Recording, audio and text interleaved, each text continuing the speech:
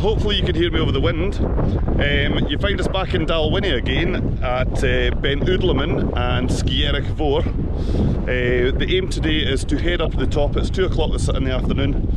We're heading up to do our first summit camp of the year. Uh, the wind's to pick up a little bit later on, but that'll be perfect because the midges I know up the west coast have been absolutely rife.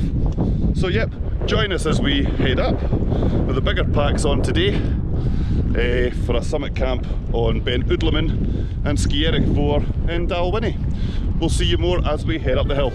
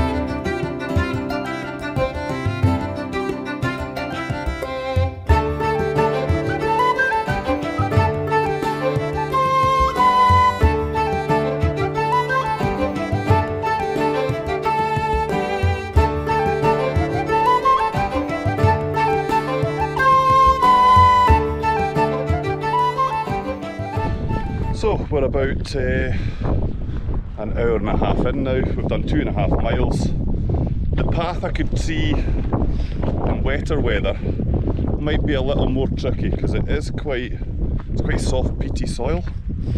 Um, but yeah, we're making slow, steady, easy progress, even with the heavy packs on our backs. And yeah, we should be getting to the top relatively soon.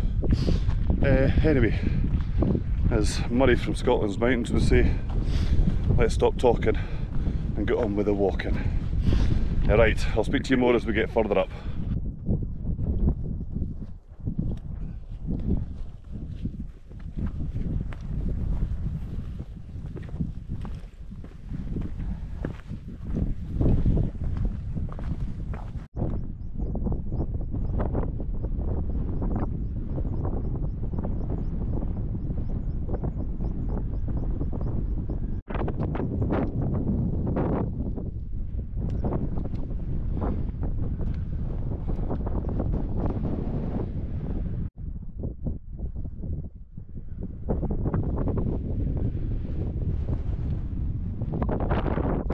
Well, hopefully you can hear me over the wind.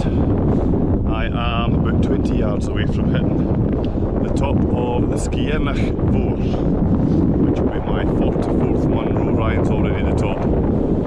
Big pack off and he's chilling out. So I'm going to turn you around as we make our final steps towards Munro number 44, Sgairneach Mhor.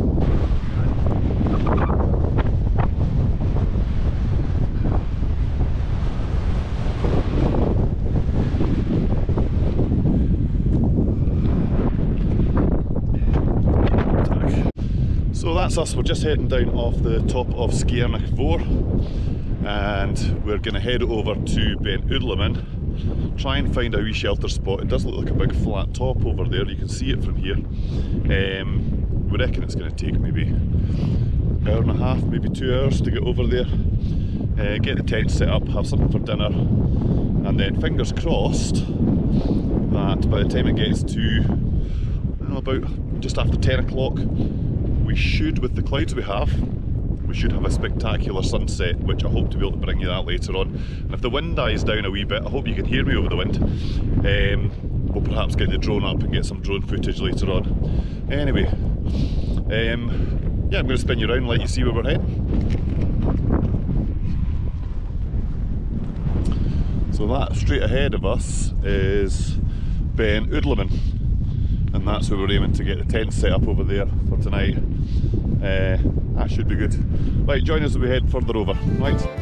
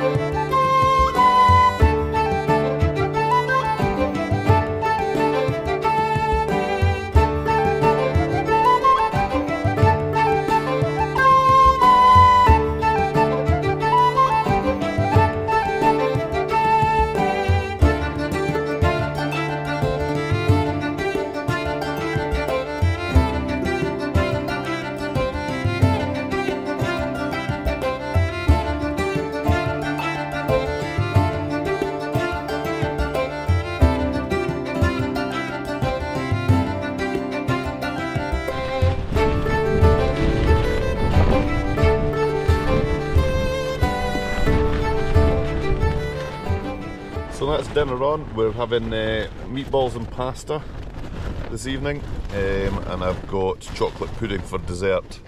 Uh, Ryan and Steve are down there cooking their steaks right now. Um, I prefer to go for the wet pouches, I just find it a little bit more convenient, but yeah, I, I get the steaks very good as well. So yeah, we're going to do that. I'm going to read a bit of my book and then we're going to head up to the top for of Ben Ul, Ul, Ul, Udlamain. Udlamain. I'm murdering it again.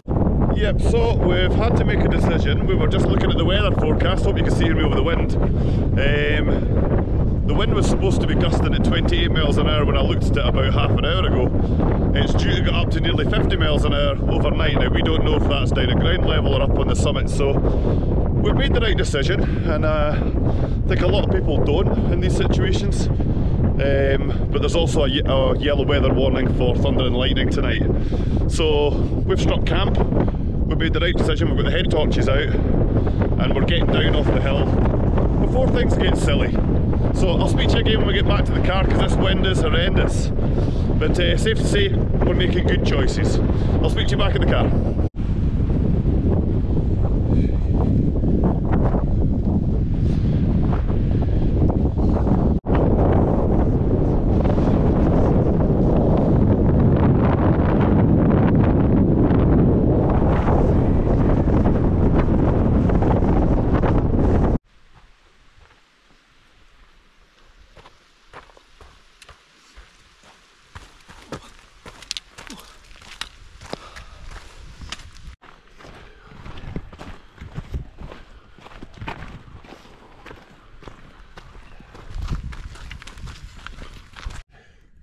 We came out in under two hours.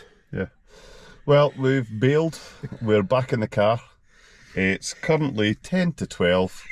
We've made the right decision. There's a yellow weather warning for thunder and lightning, and the wind was supposed to be up at 50 miles an hour. So, Steve, Ryan, and I have made the right choice, and we're back in the car. And we'll see you on the next trip, which is going to be next weekend, Ryan. Eh? Yep. On Ben Nevis. We're leaving at half past 10 from Fort William looking to be on the summit for the sunrise. So join us for the next one. And as I always say, go create adventures.